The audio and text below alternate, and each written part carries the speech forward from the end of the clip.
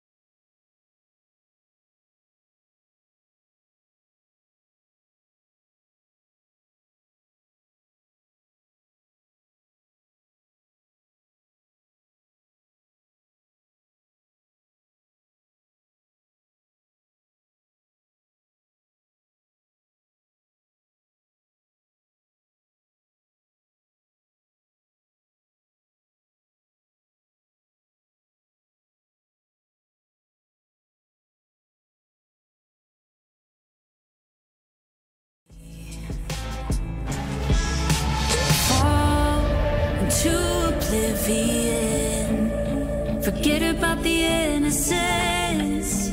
I'll show you who I